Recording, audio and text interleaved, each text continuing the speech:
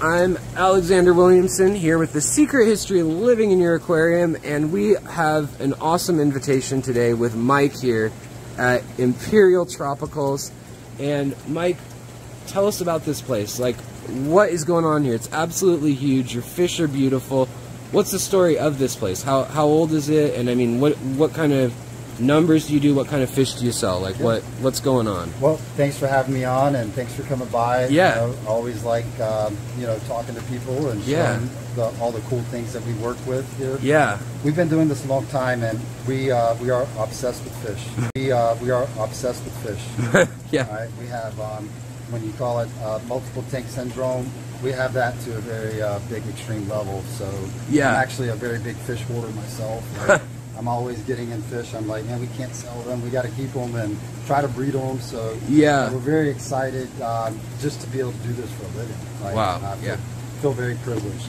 And this is in your blood, huh? Yes. Yes. So okay. For, um, so for three generations, my grandfather wow. and my father in 1970 started breeding um, aquarium fish. Wow. And that's uh, how the family first got introduced to breeding fish, and then that's been 52 years ago. Wow. Um, the third generation, and it's um, so it's always been in my lifeblood. But it really took me uh, becoming a, a full fledged. I always loved fish, but when I decided to do this for you know a living yeah. plus years ago, I'm yeah. like, I want to learn what makes it tick with people. Yeah. You know, so I really started getting into the different groups of fish, the L numbers and the different Corydoras catfish. Yeah. All the different tetras, then I like the Africans, the Tanganyikans. So it's just, you know, sent me to all different parts of the world learning about these fish. Yeah, and I mean, it's really interesting because you guys have, I mean, incredibly high quality and beautiful fish in just your, I mean, these are your selling tanks, yeah? Grounding. Yeah. Well, I mean, I love to see the hobby moving more into a phase of not being this is the sterile glass box that I have, but yeah. a little bit of algae's okay, some tannins, some yeah. driftwood. I mean, what do fish look like in the wild? Where are they living in the wild? They're in mulm, they're in leaves, they're in, and I understand wanting to have an aquascape tank that looks pristine, yeah. and I get that inclination, but at the same time, understanding what the fish live in in the wild and what makes them healthy it, it's it's an important part too that I think now people like you are really bringing into. Uh, even like the breeding you guys do, it's it's really amazing that you guys keep it so. I mean, you really try to if if they have. I noticed you have tannins to throw in. Yeah. You know, if if they do that, you're not just adding a bottle of chemicals automatically, yeah. and it shows. I mean, the the things you feed your fish. People uh, in Europe, it's common to go to your local pet store and get daphnia, ammonia, um, like uh, live blackworms, yeah. and that's not here. But you guys feed all that, and they get all the omega threes, the omega sixes, the anthocyanins, the carotenoids, all those subtle compounds yeah. that just add to the electric color of of our, of the fish you have here.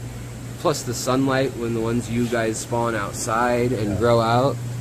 It's just it's really impressive, Mike. I, I, I really I appreciate because we work really hard at it. Yeah, it's not it's not just um, you know an easy task and right, um, but the results um, do do show. Just um, you know an easy task and right, um, but the results um, do do show. You know from yeah. taking that kind of attention to detail about the fish's needs and um, you, you really see a much uh, better, um, healthier fish. And then, you know, one thing is that there's a lot of new people that's gotten into the hobby. Sure, especially years yeah, the COVID. lockdown, yeah.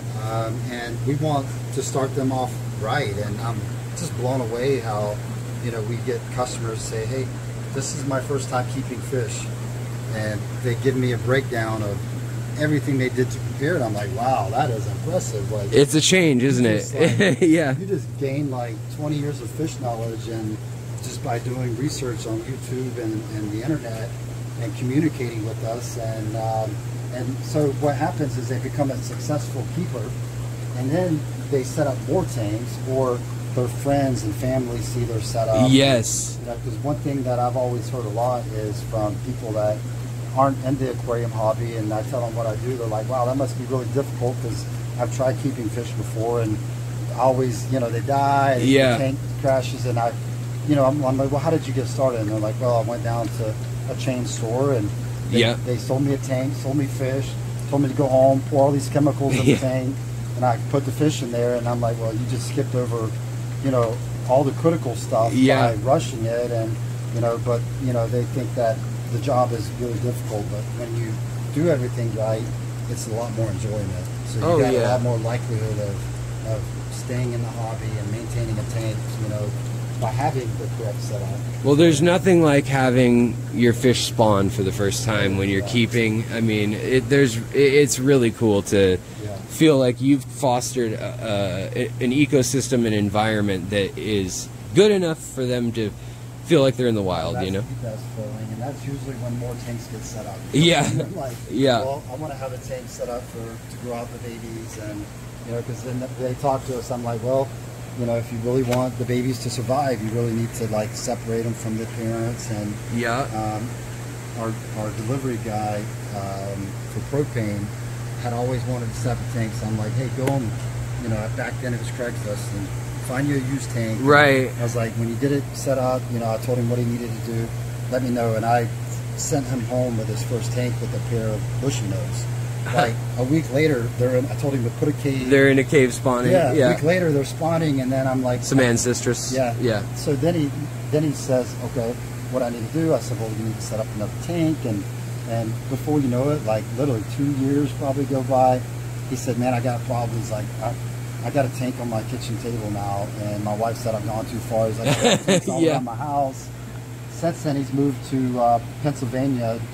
Now he's up there, dedicated in the hobby, joined the local fish club, still in touch with me to this day, and Super and cool. He's passing that on to his kids because a lot of And community, I'm yeah, sure. We're seeing a lot of people uh, get into it. They're like, "Hey, I kept fish when I was a kid with my parents and Yeah. parents," and that that sticks with these children. Yeah. you know, where they remember like, I remember having a tank as a kid. It was such enjoyment. So Well, and for me, um, I have personal uh, people on my channel know with uh, anxiety, PTSD, and pain, chronic pain. Yeah. For me, it was literally a life sa- life changing hobby, life saving hobby, and I meet so many like ex vets, people, you know, chronic illness, uh, disabilities, and it, it really is. I mean, it can be such a fulfilling and and like you said, and moving. life saving Yeah. people that are. And the world is so crazy. Yeah, yeah, the world's I mean, crazy right now. So just to be able to sit in front of nature and, Yeah. and enjoy it, I think it's um, it's great. And one thing that I really like is that people are learning about these fish, what their needs are. They're learning how critical it is that we do protect our nature that we Right. that we have left, and not throwing trash out on the road and and not Yeah. allowing pollutants to Yeah. to hurt the waterways. Well, and you guys are really impressive. I mean, people will see in the video, we tour the whole farm, and you guys are very impressive way you're handling the water and the, you know, just everything the way it's done. Well, It, it would be near impossible with all the birds and all the things that go on down here in Florida, yeah. and yet it, it's it looks great, you know. So Well, we take pride in our work, and like it's um, the satisfaction of um, being able to work with these fish and watch them grow up. It's uh, you know, it's awesome. We love it. Yeah, awesome. All right, so here we have some beautiful frontosas in a beautiful show tank here at Imperial Tropicals. And in here we have some of the most beautiful geos I've seen and one of the largest plecos I've ever seen. That is a beautiful pleco. Wow. Holy smokes, that thing is like almost two feet long, foot and a half long. Beautiful fish. They're all colored up incredibly. You can tell these fish are so well taken care of. These are some lucky fish. And this is not all. There are tanks upon tanks. I mean, look at this. There are hundreds of cardinals in here and angels just looking beautiful, as well as some of these corydoras that are scuttling around the bottom on some pristine looking sand. Very, very cool that this is right where you come in And all these tanks are full of just beautiful, incredible quality fish. It is really something else. These are some breeding groups we have pulled to the side that you know we kind of keep as like backup groups. On most of all these species, we have you know a larger breeding, group down in the, the breeding areas. But Yeah. um, it's nice for us to be able to keep them up here where they're on display. We still pull fry from them regularly, and then it helps us keep our strains, you know, from crossing. Because as you can see, most of these female Sure. peacocks, they all look very, very similar. Right, So, it's like guppies almost. yeah, And I mean, just the metallics, the iridophores on, on the scales of those fish are just incredible. yeah, they're very nice strains. Most of these are either, um, you know, German lines that we've acquired, or we've acquired them as wild stock. So you guys look across the world for the best lines, bring them in, and then breed them here, and kind of kind of try to optimize that with the setup that we'll see in this video later. Yeah, And- we, we definitely look all over the world for quality strains because um, it's hard to get good strains in the U.S. There's a lot more Yeah. available now in the hobby than there was 10 years ago because more people are tuned in to bringing in this really rare and unique stuff. So um, it's just the wholesale market had been lacking good quality fish Yeah. for a long time, so we couldn't just order these from a wholesaler, you know, and say, oh, we want to breed these fish. So Well, and I feel like the the kind of local pet store being a quality store kind of died for a while when you had the big box stores move in, and some people only have big box stores. Yeah. And then when you get kind of monocultures of here's the set 200 fish, yeah. it kind of um, to some people stagnates or something becomes boring but then you know now it's been long enough that where for instance you might have been bored of one thing you come and revisit that strain in the way that it should look Yeah. rather than a, a tired line that you know might have been the discount fish at a big box store Yeah. and it really brings new life into into And- what we're seeing You know, and I think our American style of fish keeping has improved dramatically. Yeah. Thankfully, because of YouTube videos like the work Sure. that you do,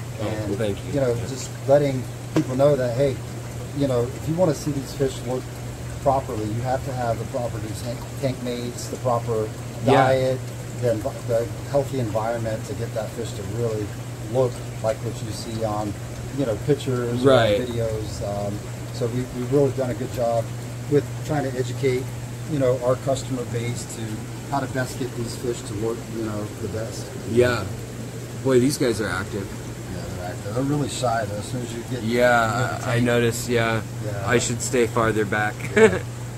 They're really pretty, though. I mean, Yeah, the it's stunning. Uh, it's so. I mean, obviously, it would be, be impossible in a video of any length to cover everything. But I mean, what do we have going on as we walk through here? I'll kind of so show that's, uh, folks. That's part of the African section. African, okay. And then over here you get into our soft water fish. Okay. These are some fish that we brought in. Uh, what about a week ago? I think, Mike. Um, Little thre- threadfin acaras, Yeah, or albino threadfin, Acara, and there is some really talented breeders. Um, one is a good friend of ours in Indonesia. Okay. that works on breeding like really rare stuff. yeah. Um, and so we brought these in um, about a week ago, and they're, you know, one thing about it when we do bring in a shipment like that, we don't just turn around and sell it. We keep these fish. I mean, they have a red X on them, not because they're sick, but because they're in quarantine. right Under now. observation. Yeah, so they'll be that way for a couple weeks, and then once they are looking 100% healthy, then we will start, you know, shipping these fish out. Uh, one like real exciting fish. They're so small you won't be able to see them on your camera. Oh yeah. What is the L280s, the world's smallest Hypancistrus? The world's smallest Yeah. Hypancistrus. And, Oh wow. yeah, L280s, huh? yeah. Are these are they the little polka dot ones? Yes.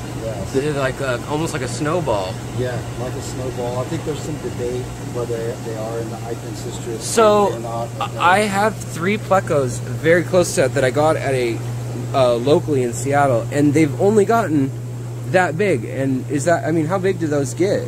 about that big. Yeah, you're probably. I wonder at if that's what a that- half inches. It could be. Yeah. The fish comes from Venezuela. Venezuela, yeah. And they're very difficult to get Yeah. you know, out of the wild where their location is. So Yeah. they're not, They're Well, not very Vene- prominent in the hobby yet, but there's several breeders in the U.S. that are breeding them now. So, Well, think- Venezuela, Colombia. I mean, you had the FARC. You had all sorts of crazy militia groups, and then government takeovers, and all sorts of things to deal with there, and tariffs and embargoes. Yes. So, I mean, it's really interesting how the hobby kind of ebbs and flows as di- we're allowed to bring in different things. I mean, at one point they thought the blue eye uh, were extinct in the wild, but come to find out that that FARC wasn't allowing right. the collector, the fishermen, it was so dangerous that they weren't going into the areas to collect them because Right. they were dangerous. So, ironically, I mean, it's happened in Myanmar too, with like Lake Inle, the Shan province, where like CPD, uh, Sawbwa resplendens, some of the other fish come from. Sometimes, I mean, war can be terrible, don't get me wrong, for fish and obviously humans. But sometimes it kind of, in a way, like preserves an area because no one's going there. Yeah, or we don't even know it's there. Well, the worst threat for uh, nature is uh, human intrusion. Yeah. Overdevelopment, and Yeah. you know, so in one way, it does protect those areas, and you know, the fishermen for most of these areas, they are very good stewards Yes. of the, the rivers because They realize it's their Yeah. living. It's their Yeah. living. They want to take care of it. Not only are they catching the fish out of it, but they're they're eating, sleeping, and everything depends on the, the nature around them. So, Yeah. Here we are at Imperial Tropicals. This place is huge. Each of these greenhouses is full of breeding fish and grow outs. There's another one, two, three, four, five, six more, plus some whole houses full of them. Plus, there's actually a whole warehouse that's 10,000 square feet, and we're not even seeing the ponds, which are right over so then over here are just acres and acres of ponds, and the ponds they have covers for heat. And you'd think at 80 degrees would be warm enough, but these are tropical fish we're talking about. And I mean, just to get an idea of how far all of this goes, how many ponds are here? There's 152. 152 of these ponds that are like bigger than a tennis court. They're about 30,000 gallons each. 30,000 gallons times 132? Is that what you said? 152. 152. Holy smokes. You guys have to be one of the bigger pond operations then, definitely. Yeah, we're up there. Wow. Very cool and just beautiful. I mean, you guys even like you even uh uh, what are you I'm Landscape. landscaped. I'm like aqua, aqua, aqua. Uh, you guys even uh, landscaped this place. It's really something special here. This is quite the place.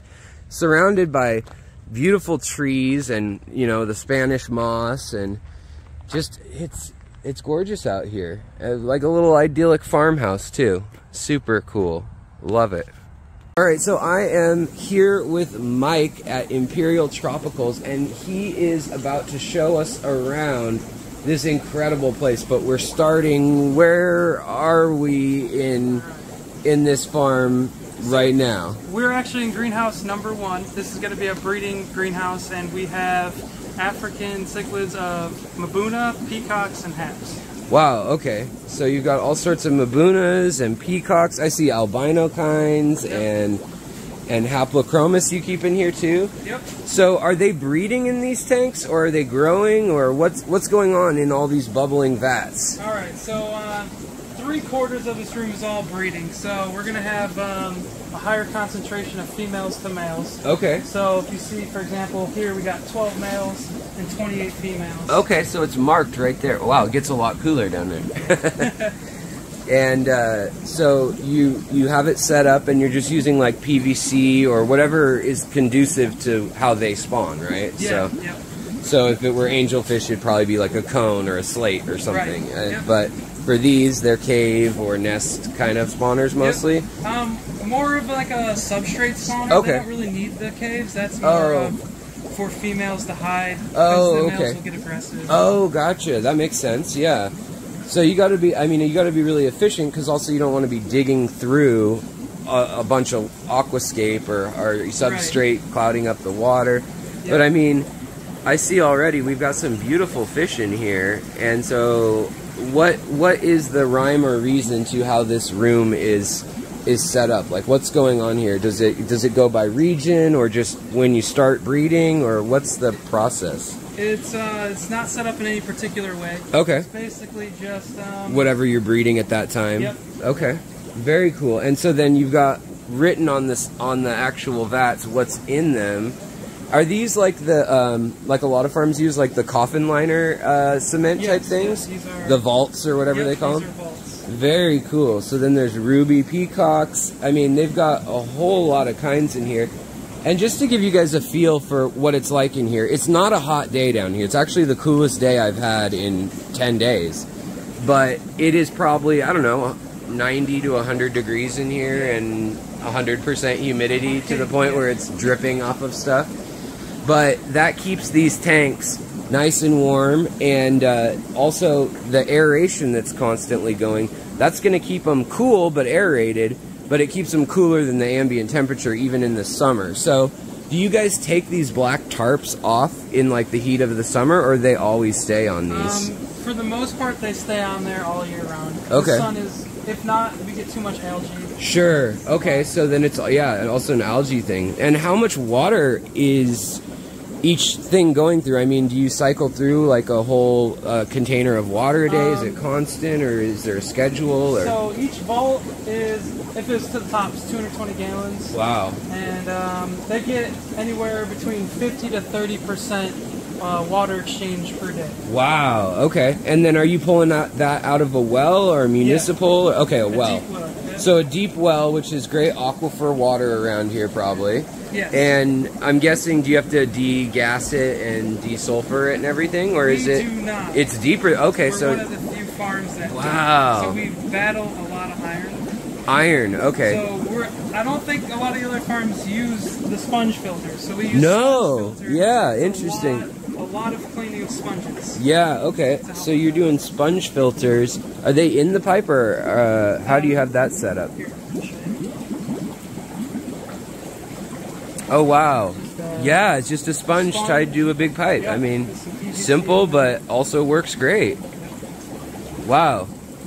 And the, hey, I can see the iron though, like you were saying. So that's really interesting though. But I mean, everybody seems to be colored up and happy. So I think it, I don't think the iron's that big of a problem for them. I guess no. so.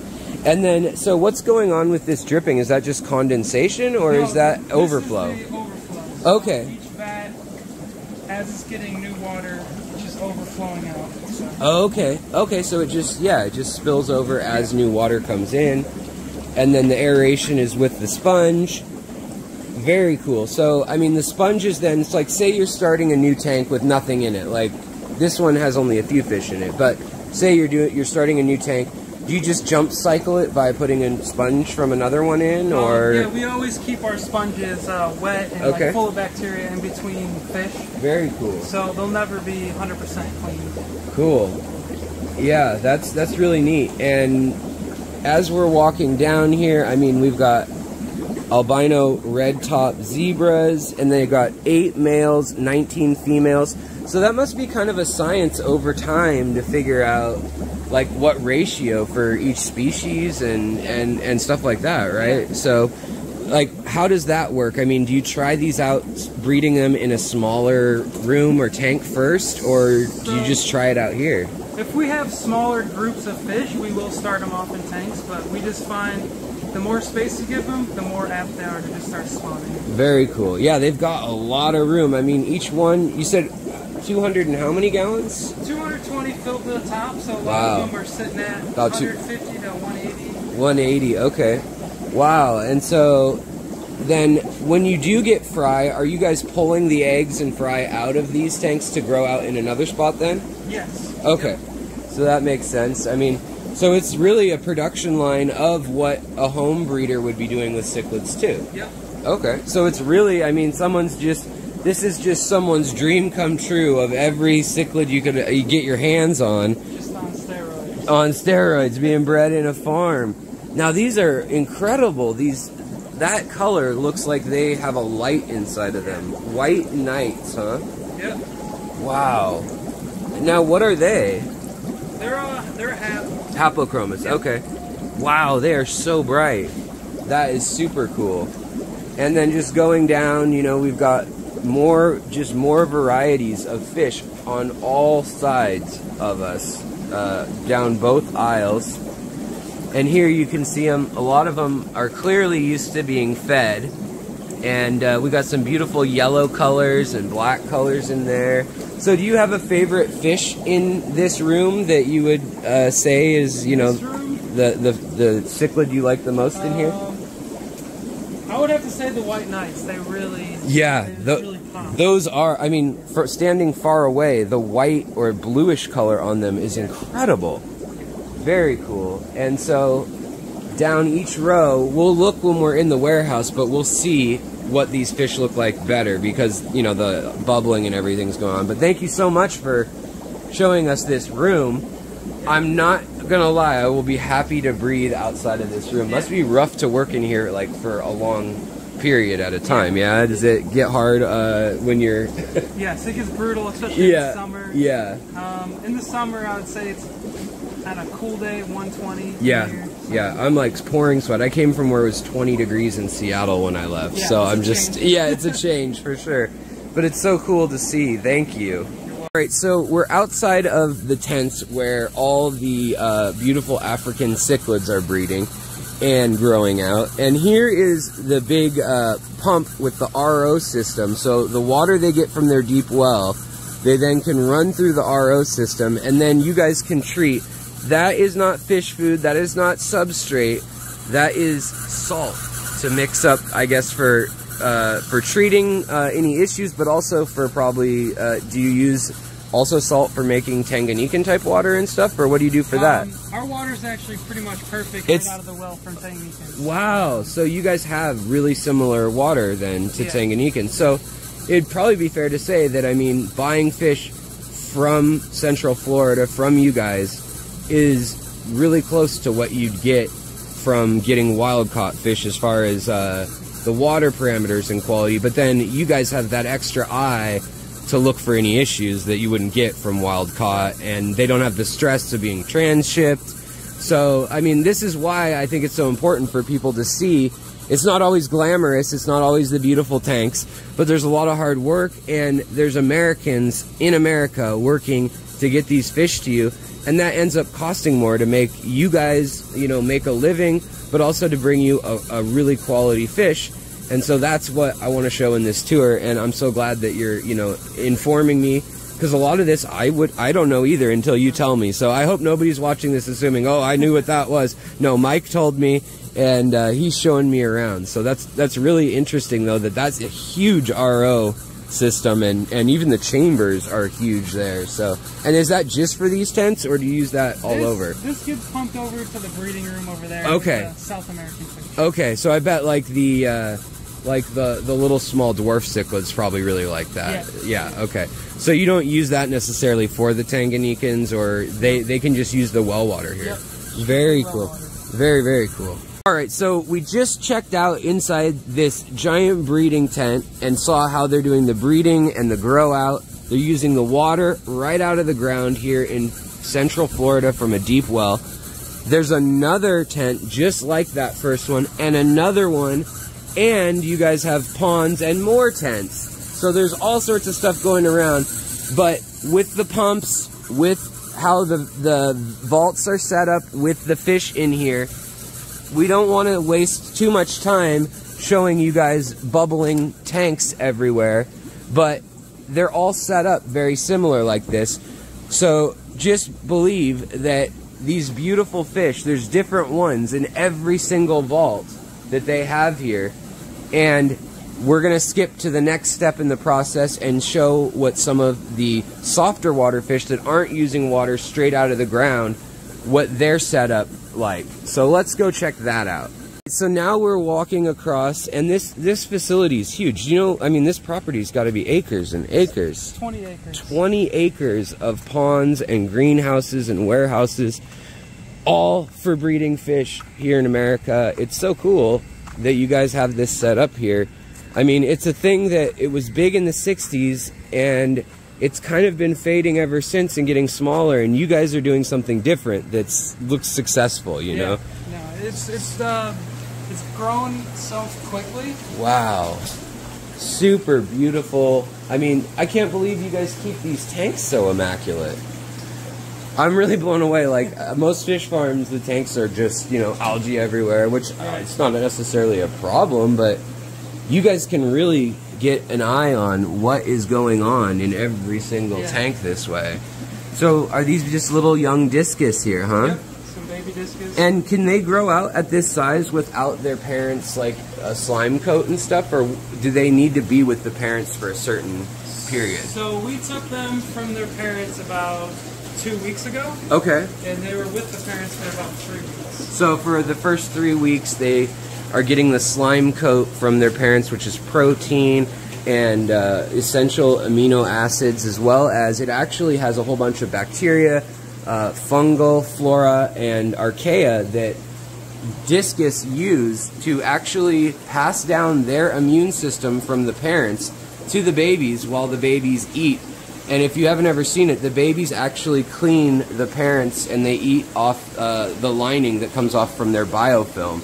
And it's a really unique evolutionary uh, trait that they do that. But, you know, discus are such a beautiful fish, and it's just so interesting to me that they, they uh, that is the method that they evolved to use. It's, it's very, very interesting. And I know for a long time, you know, before Jack Wattley and some of those pioneers, it was uh, a tricky fish to, to spawn. So it still can be. it still can be, yeah. So now, Mike, you've brought us into this breeding facility, and this is the softer water where that RO water was being mixed up for and stuff. And so, what is going on in all of these tanks and rows and rows of fish? I mean, I see beautiful discus. I see, you know, hy- Hyphessobrycon, so tetras. I mean, what is going on in here? It's just full of amazing stuff. So in this room, we're gonna breed our harder, our more, our fish that are more water.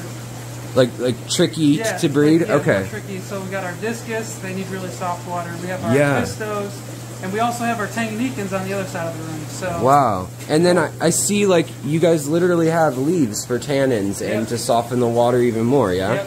So you guys are using natural methods to bring the water down and you know, salt just like you'd find in the wild, Yep. uh, leaves. So do you guys also add, you know, um, you know, calcium or shells or something like that if you need to harden the water then Um, too, or does it come out here it already? comes out hard enough. Okay. In the past, we have used like Tanganyikans buffer. Yeah.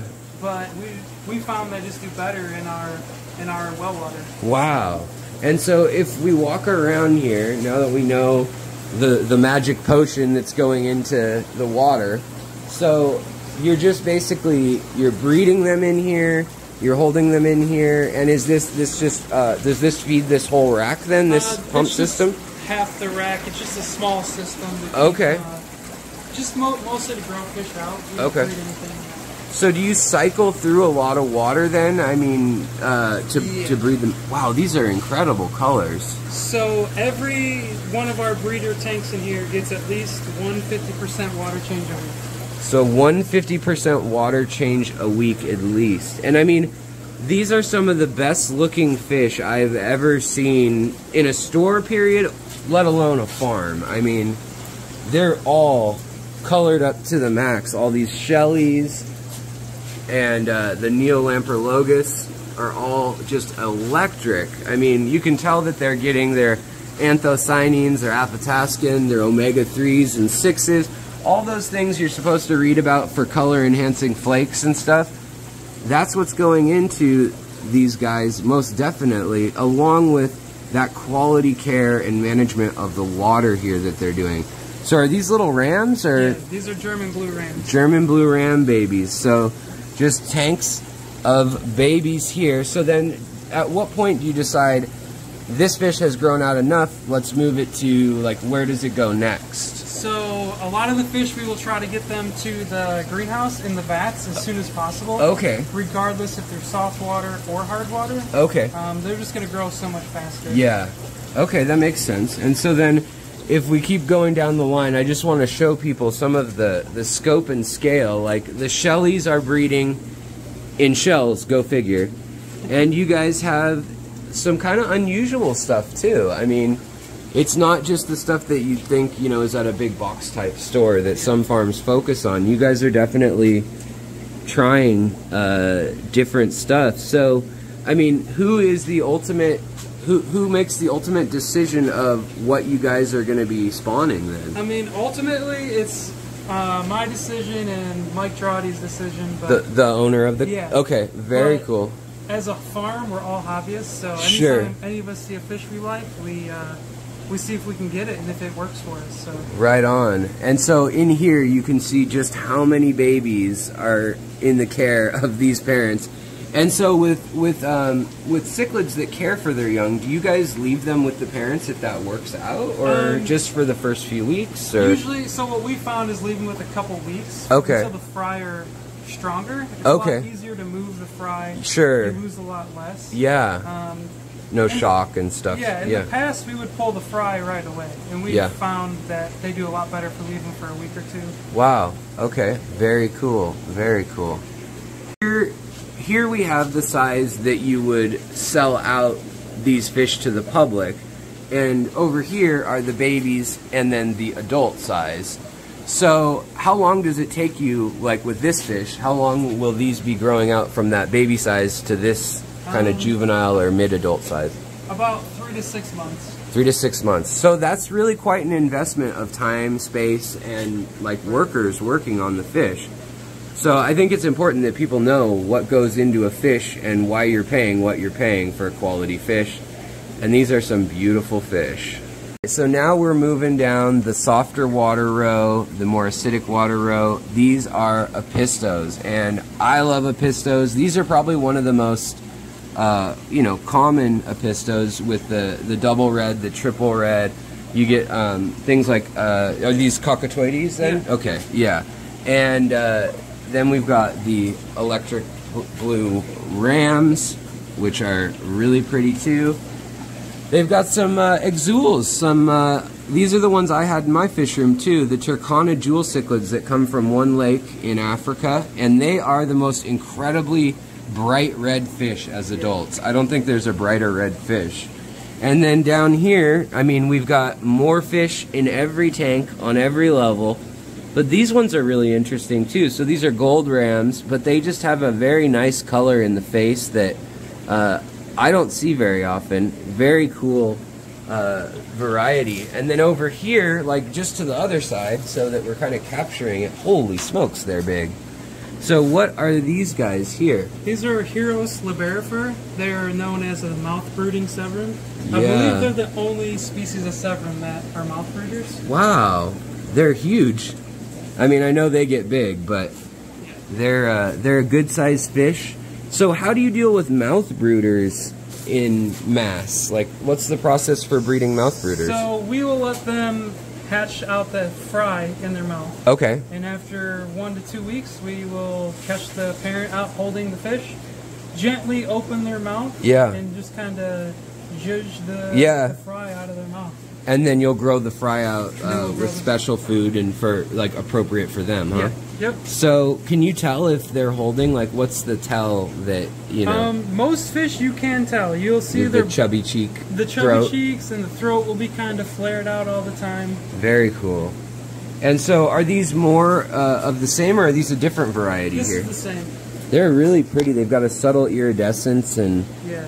very neat. So, you guys are growing out a whole lot of these fish, obviously. So, you guys are doing a lot of numbers with these fish, and then Yeah. you've got some uh, geophagus here. Yep. These are winemilleri. These Oh, are, nice! These are some we're saving back to grow out for breeders. Wow. They have a long way to go. Yeah. So they take a while. You got to kind of invest in the future as a fish farm, obviously. Yes, yes. But in here, uh, these are more uh, these are more little dwarf cichlids, apistos. I take it. Nope. No? So these are going to be Nannacara. Oh, Nana. Akara. Okay, I've had these before. Then it's so hard to tell when they're little. Yeah, this is just a small, like one inch size. Yeah. So do you guys sell them at about this size too? Then Yeah, we'll sell them from one to two inch. they're super cute. These ones, uh, sometimes they go by like the golden dwarf cichlid, Yeah. I believe. Yep. Yeah, they're they're a fun fish to have for Um, sure. If you want to see some more fry, Yeah. Oh wow, we've got itty bitty tiny fry. So I mean, do you just have to check every single day to see what's going on in each tank to know, you know, who's hatching and what's going on? Yep. So these are the ladder Pacara Paraguay. They're really cool. I think the common name is like the dwarf smiling cichlid. Yeah, I, I have a Laetacara um, at my house right now. The Dia, um, what is it called now? I'm gonna space Diado- Diodori. Okay. Um, super cool fish. More fry in this tank, same species. Oh wow. So so I mean, with any fish, not all the babies survive. Like some are just born weak and so forth. So. Yeah. I mean, do you have any idea how many of these babies, like for instance here, are gonna make it? Probably. I mean, realistically, 75 to 80 percent. That's incredible. I mean, that's really good for. I mean, you're, this isn't someone's home where they're like staring at it all day. Yeah. This is a farm with lots of other fish, and that's really cool. But there are a whole lot of babies in there, and these are some beautiful fish. Here we've got some really nice dark black rams. You can see they're eating bloodworms. They've got the uh, are those catappa leaves or what do you guys use for Um, leaf? We do use catappa leaves, but in here is oak leaves. Oak leaves. Nice. And I mean, oh, and here's some brand new babies. Brand new babies. Uh, with more black rams. These ones were born on 12 5. Uh, super, super recent. And they're taking care of their young. So with rams, at what age do you separate Um, them from their. So rams, their fry are so small, they're very sensitive. So we Yeah. give them a week to two weeks, depending on the batch of fry. Okay. That's still, I mean, that's still quite a while, really. Yeah. And as we move down, I mean, you can see some of these breeding tanks. I mean, they're just absolutely beautiful. And the Apista, I mean, they, they look like show tanks. you guys have got the wood, the sponge filter. They've got substrate to plan. They've got, are these little Monia or uh, the Daphnia? That is Moina. Mo, yeah, Moena. Monia. I'm always saying things wrong. So now, have you found that that works as a dither fish, or why are those yeah. in there? So I found that if you add a couple dither fish in there, that they will spawn a lot better. Yeah. They will almost, they will kind of fight off the dithers together and form a better bond. Interesting. They become better parents. That's really interesting. That's a great tip. I mean, for folks, that's a great tip. And you've got a little spawning cave. I mean, I'm, I'm guessing sometimes they use the cave, sometimes they use the wood. It's just kind of Depends on the pair. Yeah. And we can see, looks like the male was poking his head out over there, but they're kind of uh, keeping an eye out for who's who's who's patrolling my tank, basically. And here's some uh, larger of the ones we were looking at earlier too, more colored up. That's the anomala. Yeah, very pretty with that gold and blue. They're one that's super underrated. I wish pe- more people kept those.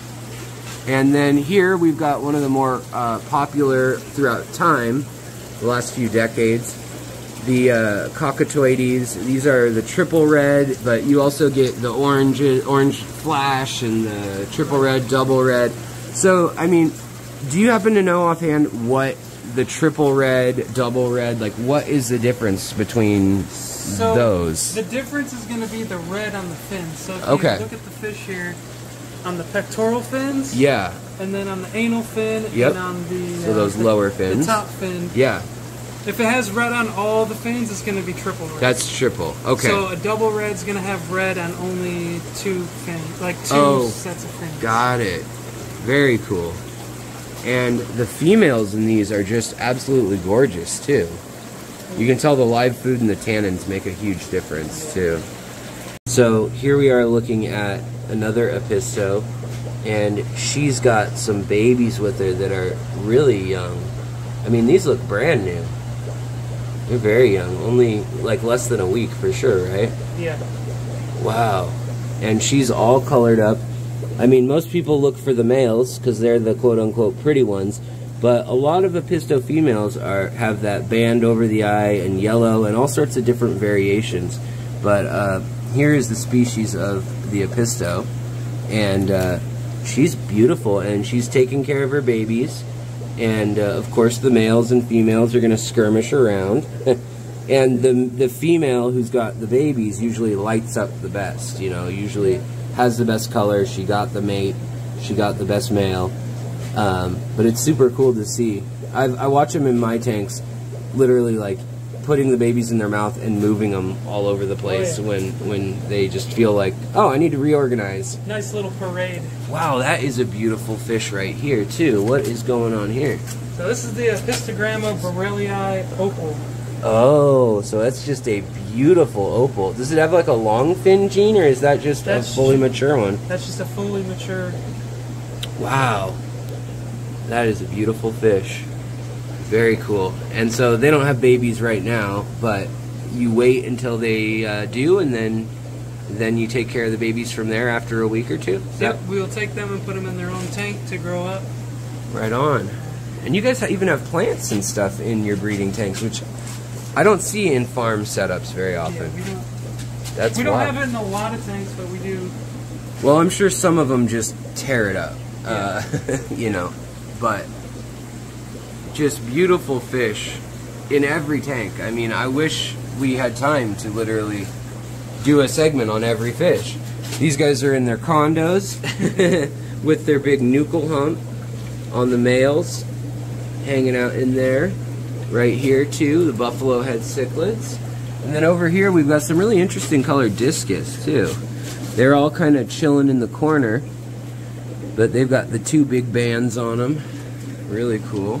And so you spawn some of your fish. I notice, you know, you've got cones. Some of them you got tanks or uh, uh, longer like tunnels like these. Yep. Some of them you have condos. So is it just like trial and error that you figure out what works, or you know, like yeah. So for every fish too, we, we research as much as we can and try Sure. to replicate what they would spawn in in nature.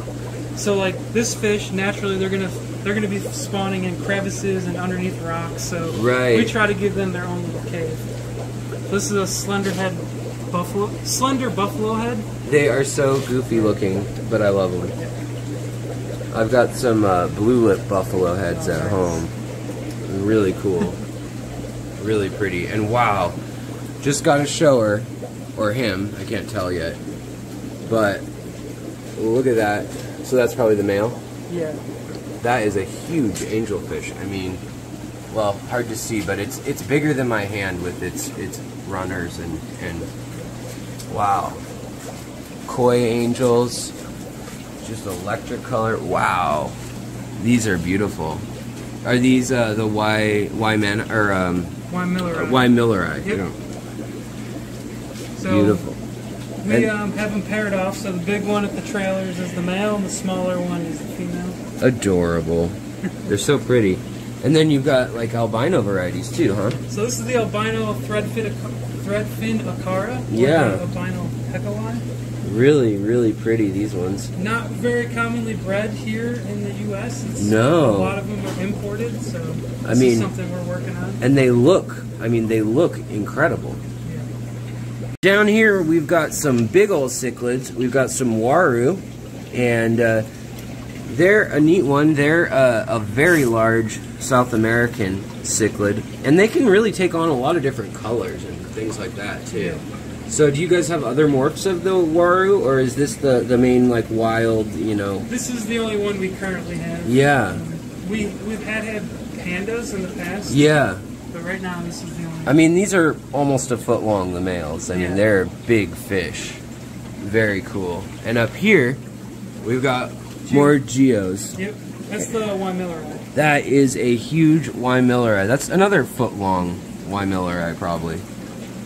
Wow. Incredible fish you guys are breeding. I mean, I'm really, I really am blown away. I know I keep saying that. I'm not just saying that. It is so cool to see a farm where you can actually see what's going on and actually see the quality of the fish and clean tanks. I mean, that's not a necessity. You don't need to have clean tanks, but it sure does help. I mean, I'm sure with spotting issues and Yeah. everything else, but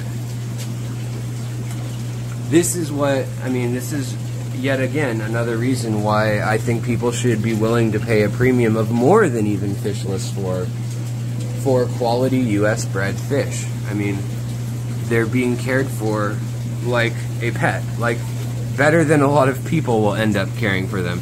So now here's more of those Lake Turkana jewels, and none of them are colored up quite yet, but that one is working on it. And I have these fish at home, and they, if you guys remember them, they're the ruby red, the like blood red with the blue specks of a color on their uh, dorsal and uh, caudal and uh, pectoral fins, all kind of like a lace pattern. You can kind of see it on this one. And then the ruby red body. They're a really pretty fish. We got, so we've got, wow, big old rainbow fish too. Those take a long time to grow out. Yeah. So this is uh, these are the dwarf rainbows. The dwarf, yeah. the parva. Yeah, the parva. These are uh, Lake Karamu, Yeah. Karama, Yeah. uh, and they've got a nice subtle color, but you have to invest some time to get that rainbow shape and the rainbow color and everything. These are a little bit past their prime color. They're about six years old. Okay, so they're they're even older than than prime. Yeah. Yeah. um, and then we've got some little. Uh, are these nanochromis or what? Um, these are some rainbows that just act. But yeah, these are Nanochromis splendens. I love them. Beautiful fish. I love Nanochromis. I love the transvestia, uh, transvestitis, transvestiata. I can't remember how how the end. Transvestis. Yeah. And then the Splendens, and then there. I mean, there's so many cool ones there, and they keep finding more. Anton La- uh, Lamboj always lists them on his Facebook when he's out exploring, and I'm always just like Such a cool stunned fish. by. They're like a slender kribensis that kind of hops around almost like a goby. They're a really neat fish to keep, and I think more people should know about them. They're not that hard to keep as long as you keep the water quality good. Um, they're a really cool fish. There they go, and they get very, very colorful. These guys are just being shy, and it's a little dark. Alright, so here we are going into, I mean, we just walked from over there, we checked out in there. Now we're going to another set of tents. I mean, there's whole other greenhouses here, but we've got more in here. You can see the overflow. We're going to go into a, a heat blast in here, but it's not as bad as the, the other one was, that's for sure. And what are we growing out in these vats? So we have some tetras that we're fattening up to breed. Um, the females come in the vats. We'll put them in in the breeding room to breed them. So female tetras in that one, and then uh, Sawbwa resplendens. So, so that's the uh, orange rummy nose, uh, a rasbora, right? Yeah. I mean, it's not really a rasbora. I think they call it the naked rasbora or the naked rummy nose. Yeah, it's like a beautiful blue color with an orange nose. They're from Lake Inle, and they're a really cool species, even though they're not actually. So all the rest of the fish down this row are going to be rainbow fish breeders. Okay, Um, so rainbow fish all down this row, huh? Yeah. All of them are going to be different species. Some are um, location specific. Some are not. Wow. So Parva, Tuna Creek. Is that Puna Creek? Yeah. Oh, the Radnocentris. Yeah. Is it? Do you guys do Siri Creek too, or do you just stick with one type of rad? Ceres Creek also. Very nice. They're really beautiful fish in sunlight too. We try to keep them far as far as possible so there's no uh, potential to hybridize. Yeah, that makes sense. So you keep uh, when you have several of the same uh, species in the same pen, you try to keep them as far away from one another as possible. That Yeah. totally makes sense. And so with rainbows, it makes sense. You're also just, and this is what you do at home, like Yep. literally a acrylic or yarn, you know, Just spawning yarn. mop. Yep. Very cool. piece of styrofoam. piece of styrofoam to float them. And these vats or vaults are set up in the same way in that they've got the overflow, also sponge filtration in here too. Wow. And so it's all set up that way. Um, And then, oh, wow. So this is where we'll hatch them. This is a very small spawn, but you can see the tiny Oh, yeah. fry in there. Yeah, I can see some of the fry hanging out in there, and there there's more when your eyes adjust. But so this is what when you do you pull all the mops, or do you rotate what mops you're pulling, or or do you just do one mop in the in the vaults at a time, or what's the We'll do one mop in each vat. In the each vat, okay. Every week we'll pull the off. uh, Sometimes daily. Okay. And we'll pull them off, put it in here to hatch out. Very cool. That's a cool way to do it. It's labor intensive, but it's very cool. Yeah. And so, I mean, they've got just a whole bunch, a bunch of Boesemani in here. Here's the Ceres Creek.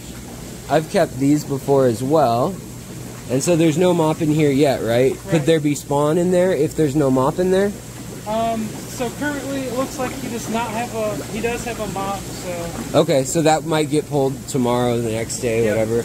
And then do you comb through them by hand or do you just let them hatch into there? we just let them hatch. Okay, that makes sense. that makes sense. I was gonna It's a, that would be a lot. yes, and in here it looks like fern gully. It looks like nature is trying to take back your your tent. Yeah. So what's going on here? Is this the filtration for this tent? So this is a peacock bass breeding pool. Whoa, Um, you can't see in it right now. If you look, Oh, I see one, yeah. see he's huge. One spawn, we had about uh, 1,200. Twelve hundred baby peacock bass from the. Is this like a thousand gallons or Uh, this is big? This is more than a thousand. This is Okay. probably like, right now it's probably fifteen hundred. I think Yeah. it's three thousand to the top. Wow, wow. And same with this, I would assume then. Yeah, this one had. Uh, this is a project that we've been working on. You might. Oh. There we Oh. go. Is that a gar? These are Florida gar with the. I don't know if you followed us at all. We had the Yeah. gold gar. Yeah, So yeah. These all have the gold gene. So these have the gold gene, and was that from the Florida Aquaculture Center? Is was it their gold gar that, That you was guys? our gold gar. Oh, that was your gold gar that they had at one point that I saw. Like they Um, they had a platinum and a gold gar of some kind, like five six years ago. That was young. So No, so ours was wild caught. Oh, okay. So your you guys have your own then. Yes. That is awesome. And then its its, its offspring. We are going to try to breed them back to him, so you're gonna try to breed. increase our odds Okay, right. So you'll have babies. So this is a really long term project. Yeah. So you have a Florida gar in here. It has babies. The babies then have a probably very recessive gene. So the babies will then be saved. They'll be bred back with the parent again. Then those babies will probably be separated and bred back with the parent one more time if they're not expressing. If we have to. If you have to, yeah. And then you'll probably diversify amongst the babies. The Right. yeah.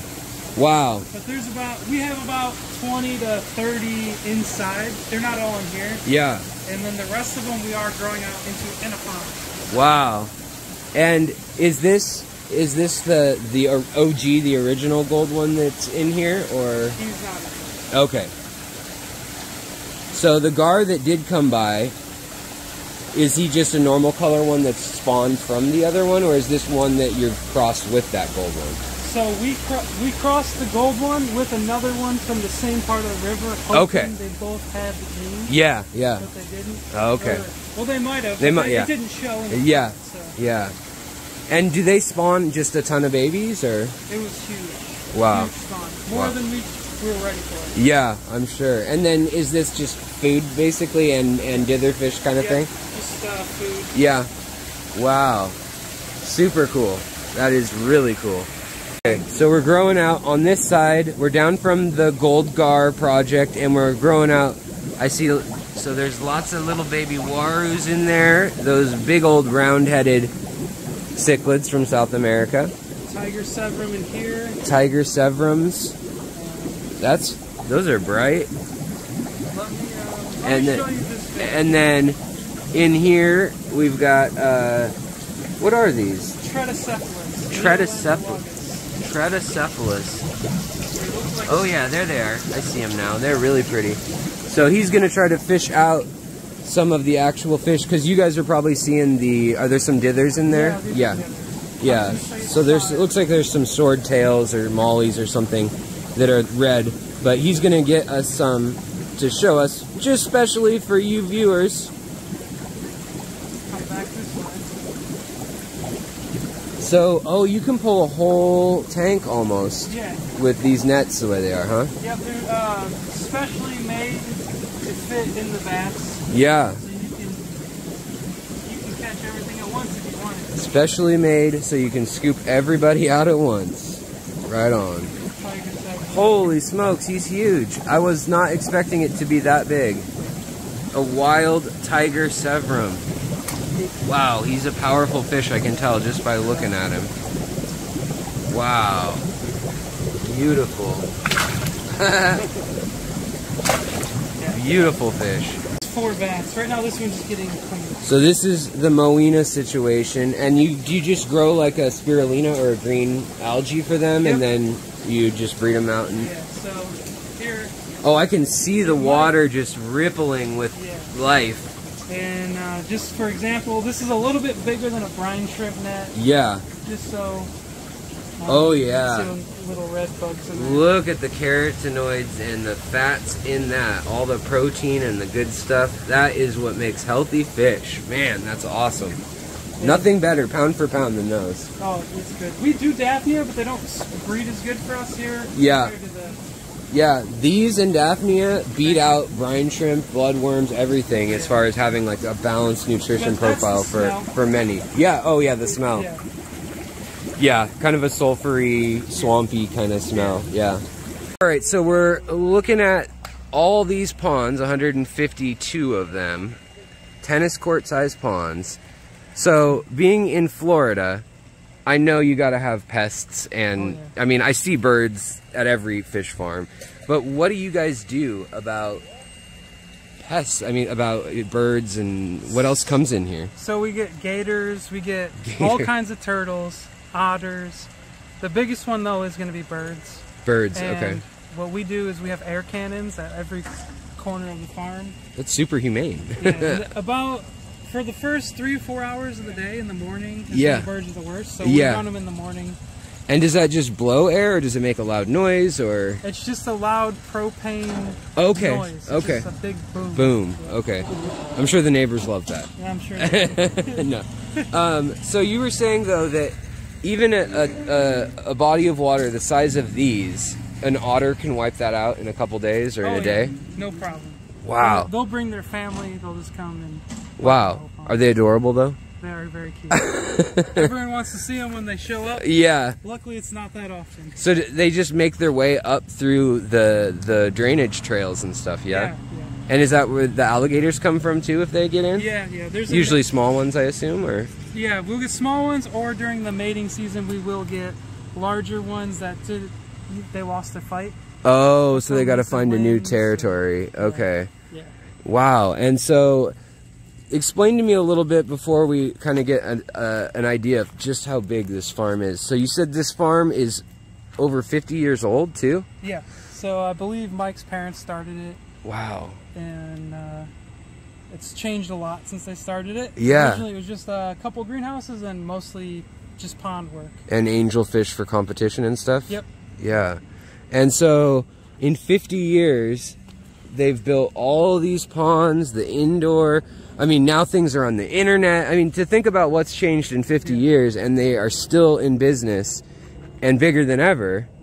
That is a, I mean, that's quite a, a shout out to Mike and you guys Yeah. for all your hard work. Um, that's really cool. Very adaptable. Yeah. So, underneath these, does this keep just the heat in? Does it keep the birds out? What's the main purpose of covering up a, a pond like this when when we see this? So the main thing is to keep the temperature of the water up. So Okay. At night, even though it's warm here during the day, being that it's winter, it can drop down 60 degrees. Yeah. 40 degrees in the dead of winter. So yeah. anything to keep the water temps up for these tropical fish. Okay. And so, I mean, do you keep any of the really hot species out here, like angels and discus and stuff like that, or do you have? Angels will do fine underneath the plastic. They will. Yeah. Okay. Very We've cool. never put uh, discus in a pond. So. I'm sure that I mean you'd have to have a lot of discus Yeah, too. Um, yeah, so that's really cool. And then when it's time to get things out of the ponds, what's the process look like to get uh, all the fish out after they've been growing and So- being fed every day and all that? If you look at this pond over here, Yeah, we'll pump it down to uh, what we call a saneable level. a sane level, yeah, so you can get the seine net. in seine net. Yes. And what we'll do is we'll try to attract the fish to one side. Okay. we- so we'll throw food, And then kind of work it Yep. like and we'll just have two people go down each side, and seine them in, and then from So- there we catch them out of the same net and bring them into the greenhouses. And so, I mean, these look kind of like steep drop offs on some of these. They are So- pretty steep. So yeah, so you guys have to be kind of careful, huh? Yeah, it's pretty slippery. Now, what is this? Is that a tail drag, or is that just you know equipment or something that left the that? um, the hose Ah, okay. from the pump Yeah. that pumped it down. I was gonna say you either have like a 15 foot gator in there, or I'm off. I'm completely off. Yeah. Wow, that's super cool. Well, let's get an idea of just how big this is, if if folks are wondering, and we'll do it high speed. So the Tanganyikan hobby definitely needs saving. I mean, it's one lake with all that diversity, and they've even seen new species forming because of human activity in the last 60 years. Yes. So it's wild. I mean, it's really neat to see you guys carrying Yes. so many different Tanganyikans. And the lake, not only is it uh, being threatened with uh, pollution and invasive fish, but Right. it's also getting overfished. yeah, Um, you know, you'll, if people are tuned in to what's going on in the lake, the locals are catching everything that they get in a net and eating it, right? Yeah. They're drying it out, making sardines out of it. So it's getting a tremendous amount of pressure. So we put quite a bit of effort into breeding king and Tanganyikans ourselves because they're not as easy to breed, so they're not as readily available on the wholesale market. and they're Uh, not. Yeah, they're not going to be living in a flooded jungle where there's pockets where they're safe and things like that. I mean, Yeah. they're stuck, and it's it's really cool that you know that that hobby exists. Just like um, you know, another one that doesn't get as much uh, love always, but uh, is important is like Goodeids. Yeah. They've reintroduced fish from hobbyists back into the wild, like the San Marcos. Uh, and I mean, I think that's a story we might see with time with, with Lake Tanganyika, hopefully. Well, that's a future project for us is to work with more of the live bear wild types. Yeah. Because um, we have bred them before. I've had two or three different types of Goodeids breeding, but the demand for them was Right. like zero. People I need to know they're out so, there, You yeah. know, that's where, you know, I think if we did a better job letting people know how unique and special they are, that it would encourage people to keep them more. Yeah, it's. I mean, it's it's why I have worked uh, personally with um, Project Piaba, ARCOF, which is the Amazon Research Center for Ornamental Fish, with uh, um, uh, Anthony Mazeral, Dr. Anthony Mazeral, and uh, also I started a nonprofit with uh, Ivan Mikolji out of uh, Venezuela, and um, that is our focus: is those countries and those places that are like the Pantanal, where it's a unique thing and people don't even know the fish exists there. Yeah. So it's so important when, you know, I can do my part to try to educate on my channel. You do your part to bring them in and breed them. I mean, we all have a role to play from wholesale down to keeper. And it's so cool that you're transparent and open and like spending the time to talk with the other half of, you know, this the Critical. puzzle. This is uh, the electric blue acara, and that's Oh, yeah. that's that fish is drawing new people into the hobby. Sure. And that's that's what we like about some of the man-made variants. Is Yeah. That yeah, your more natural fish keepers they don't like the man-made variants, but Sure. you know I've I've always been able to have a good argument with those debates, saying, hey, this is bringing new people in. Yeah. So they learn Yeah. about the electric blue acara. Yeah. At some point, they're going to learn about the actual acara, blue acaras up Right. top. Right. Those are growing in popularity, you know? Right. fact, when they're colored up, I like them just as much as the electric blues. There, there's definitely something to be said about subtlety, Yeah. also. You know, especially if you have a, like a planted tank or a, a biotope. Yeah. There's something that iridescence in a tannic tank also just sparkles like magically. You know. And what it does is it helps people, you know, like, you know, yourself and Ivan who are trying to, to, you know, reach people and let them know how vulnerable, vuln, vuln, uh, Vulnerable, yeah, I got you. These fish are in nature that, hey, you know what? A person might watch a video and see, you know, something that draws their interest. And Right. Helps protect those fish. Well, and, and in a lot of cases, uh, it's not that they're being overfished. It, it's also that the fishery isn't big enough in Yeah. some cases, and the locals will take care of the fish. And if they have a little bit of education, you know, on uh, on aquaculture, and that's also something that uh, you know I try to mention, but that you know a lot of these have potential to be even bred down there, for instance, Yeah. or they could. Um, we're seeing more of that. Yeah. Brazil's got a lot of Yeah, they have- breeding programs going on. Colombia's breeding a lot of fish uh, because it's um, a lot of times those fish are seasonal in the wild or they're a long ways from you know getting them out of the wild to ship out. So you're seeing more and more you know, breeding projects set up. The Hypostomus luteus that you filmed in the big show. yeah, are those them up there? Uh, no, Oh, okay. we actually went down to uh, Argentina to collect some and learn more about them. And the natives, um, the locals, they, they actually have them for food. Oh wow! Yeah, they- Like they're in the market Yeah, stalls. some- Yeah. So, you know, when I went down there, I was looking at a fish that might cost 2000 US dollars. Right. Being sold on a, in a fish market for like two, three dollars a pound. you Right. know, So, Well, and I mean, people don't realize either that certain things like these these are beautiful. These blue uh, or these uh, turquoise. Yeah, turn the lights on too. So Rainbow it's fish. Yeah, I mean, even without too much Oh, yeah. light, they're really beautiful. Um, oh yeah, there we go. Let there be light. Now the rainbows are uh, just incredible fish. These are of a great size. I mean, you can sex them right away. They're be- they're really well colored. And that's another one that's growing in popularity because uh, Oh, you- people that know that hey, these go, they, they're, they're from where the rainbows come from. So Yeah. they actually go in quite well with um, um, rainbow community tanks. Uh, Yeah, I love keeping those with um, you know some pseudomugils of some sort or Yeah.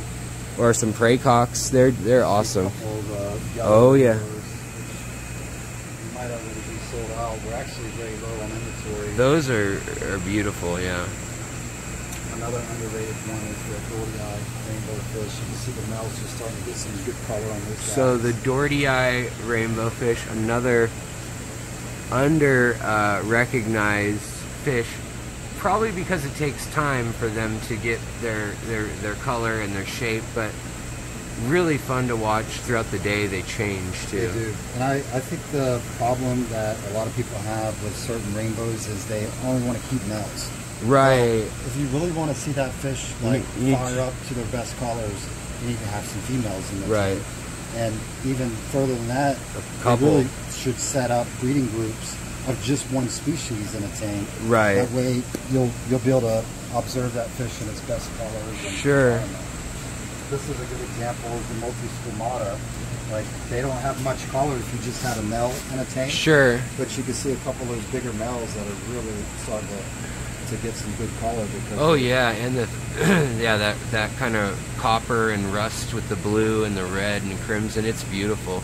same with the threadfin rainbows. Thread you know. fins are one that I had no idea also that these have like four or five collection points that are not as popular in the US yet.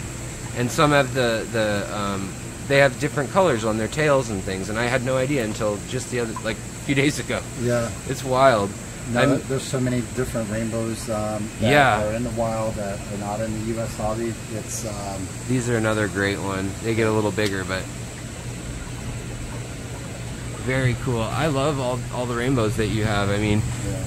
I think it, seeing wholesale level or at least large scale level rainbows is another encouraging thing because you're in it for the long haul. This is not a turn and burn fish. No. Uh, and it needs care too. I mean, it needs special care to a certain degree. It's not super hard, but it's Well, they need to be on the right path of success. Right. That's why those are you beautiful too. we try to encourage, um, you know, them to keep females with them and not just do males. You know, but Right. I mean, a lot of your, you know, bread and butter Sure. types, they don't have to have a female thing, but they'll even look better if there is both sexes. Sure. You know? Wow, th- that is a huge female right there. female. Wow, she's like six or seven inches. That is wild. Now, these a Millennium one? Yeah. Yeah. Yeah. They're showing off quite good color for their They are, size. Yeah. I have to believe diet, weather, care, all that stuff probably helps, huh? Yeah, and one thing is, is that they've been they've been raised indoors. Okay. In, uh, areas, not in ponds. Most of your albino fish do not do well outdoors. Oh yeah, they probably get burned too. So they, and- they actually will color up at a smaller size, which diet obviously helps a lot. Yeah. But if they were growing in an outdoor pond that's 30,000 gallons, they'll grow really fast. Like the peacocks are a good example. The African Sure. peacocks, they ours don't color up till three, three and a half. They start getting good color. But if we raise that same fish indoors, they'll start calling up at two, two and a half inches because of the growing space. Yeah. So Yeah, it, it's incredible. I mean, even just like your discus, seeing how fast you can grow them yeah, versus like I don't know in my tank at home where I'm casually feeding them. yeah. Uh, it, it's a big difference. These uh, community fish are, are really beautiful too. I mean, if someone wants to put together kind of a, an African community, Yeah, the Mbunas are, are still very, very popular, especially for new people getting in. They want a colorful fish that is easy to maintain, and there's really nothing better than a, a, a Mbuna tank. right? Because you get all different colors. As long as you're keeping just Mbunas together, they're, they're usually very good with each other, even though they do have a high aggression. You can throw in a few Synodontis for Yeah. some flair if you want or whatnot, or even a pleco, yeah, depending on the pleco. So Mbunas are still, you know, very popular. One thing that's not, you know, popular yet, but I hope it, it, Yeah. it turns is some of the newer Mbuna types. oh, sure. Because they're, um, you know, they are more rare, more expensive. Yes. Some of them don't color up until they get to a bigger size. yeah. Um, this Chilumba here is a good example. Chilumba, huh? Yeah, they're very Wow, shy. they're yeah. I mean, You can Yeah. see the potential in the color Oh, there yeah. on that male. Wow. And the activity, I'm sure, is fascinating. It is. I mean, they have, um, even though they're several generations from the wild, they still have that wild, you know, behavioral instinct. You know. Ochre Chilumba. Roomba, interesting. I always love dwarf cichlids too. You know the the nanostone, uh, nanochromis, and the uh, the little you know everything. I, I started with cribs, Yeah. honestly, and then you have too many cribs. yeah. These uh, red cheek uh, Tropheops are, um, Oh wow! they, they became really popular too because they, they have low aggression um, compared to the whole Tropheops family is very more docile, allowing, you know, Yeah, compared to the erratics. beautiful. And then you got a mixed tank right here. Yeah. Super cool. Well, again, I can't thank you enough for Yeah. showing us around this place. And I mean, the scale of it is really hard to communicate, but I hope folks will check you guys out. Where can they find you? I mean, seems obvious, but where can they find you uh, if, if they'd like to order some fish? Yeah, so they could buy from the website Imperial Tropicals. Okay. Um, and then what I encourage them to do is like do some research on us. Like, Yeah. Um, one thing that makes me, you know, very uh, proud of our uh, company is our reviews. Like, Yeah. you know, if you if you go to a, you know, fish store online, you should go look at their reviews because if they're doing a good job, Yeah. it's going to say it. And Yeah. I mean, we have some negative reviews with the, with the That means you're leaving them, though. you know? those are good times for us to hopefully show somebody else what that person needed to do. Right, right. Was communicate with us or Well, this is a hard, ho- I mean, hard business in that someone can be not doing their part, Yes. and they'll say it came from this end. But I, I mean, I can say just from being around so many fish in my life and so many shops and things. Yeah. I mean, these are incredibly healthy and happy looking fish, and they're coming from here. So Yeah. I mean, and we get new people that you know they buy unsexed uh, peacocks and haps. Sure. like, hey, it doesn't have any color. I'm upset. Right. like, well, you know, make sure before you buy any live animals online, you do proper research. 'cause, right, right, You know, when you buy one to two inch unsexed fish and read the description. yeah. What do you it- expect? yeah, so you know we're dealing with a lot of you know people that are new to the hobby, and Sure. we want to educate them. You know, we want them to know what to expect in the future when they buy fish from us, and even if they don't get it from us, wherever they get it from, we want them to take good care of them. So I, I think that's also great that you're encouraging folks, even if you're not getting it from you guys. I mean, support the hobby as a whole. I've Yeah. got some of these guys at my Oh, house right now. stunning. The the full grown ones are incredible. I've Yeah. got the um, uh, Malungu collection point Yeah. that Lawrence Kemp brought back. He lives in Seattle. Oh, I'm- I, I love Lawrence. And, uh. Oh, is he? Oh, Yeah, good. yeah. Him and I go collecting in, in Washington whenever we get a chance. So, yeah, I, he's he's one of my favorite fish people. All his his African tanks are Oh, incredible. Trips. I, I love I know. watching those trips. Facebook stalked that guy. I'm not gonna lie. We're not we're not hard to find as far as um, all you got to do is Google Imperial Tropicals. You'll find out Right on. what we're all about, and then we also have social media, Cool. Facebook, Instagram. Uh, we also have a Facebook group, Imperial Tropicals Fish Keepers, which Okay. has been key to our success with getting people to be better at keeping fish. Because, Yeah. um, it's a place we can send people to be around other like-minded people to learn from. I learned stuff from the group. You know, it's been just an amazing uh, journey with, with that. Well, I mean, I love this hobby because you're never gonna learn it all. If you think you did, you're there's something wrong. no, absolutely. Like, you know, we do it at a professional level, and Yeah. we're still learning and very open to learning more. So there, there. Yeah, I tell people there's uh, there's no right way to keep a fish, but there's a few wrong ways. Yeah, that's absolutely right. and uh, I really appreciate it. Thank you so much for sharing. I'll end on the note of an adorable puffer. Uh, everybody loves the puffers, Yes. and uh, thank you so much again for your time. Yeah. So, thank you guys so much for coming along for the ride with me down there. I know this was a long episode, but I thought it was all just so fascinating, and I cut hours of footage. So, thank you so much to Mike and Mike down there at Imperial Tropicals. But thank you so much to you guys who are members. If you like this long form content, if you like when I go down to Florida from Seattle, where it's uh, it's actually uh, about 15 degrees right now, and uh, it's uh, snowing and sleeting. But in any case, if you like me to travel and do all these things, it's it's only possible because of the memberships and the Patreon and the super chats and all the things like that that allow me to do the research and then allow me to go fly down there and give you guys tours like this, uh, as well as meet incredible people along the way. So, thank you guys so much for that. If you want to continue that, I'm sure you guys know what to do. And of course, liking, sharing, and uh, uh, subscribing are all really helpful things if you guys want to help out the channel just that bit, bit much more. Uh, also, check out the community tab for extras that I put in there, uh, all sorts of behind the scenes stuff. So, thanks for watching, you guys. Have a great holiday season if you're watching this when it just came out, and if you're watching this later, have a great day. Well, have a great day, anyways. All right, guys, I'll see you next time on The Secret History Living in Your Aquarium.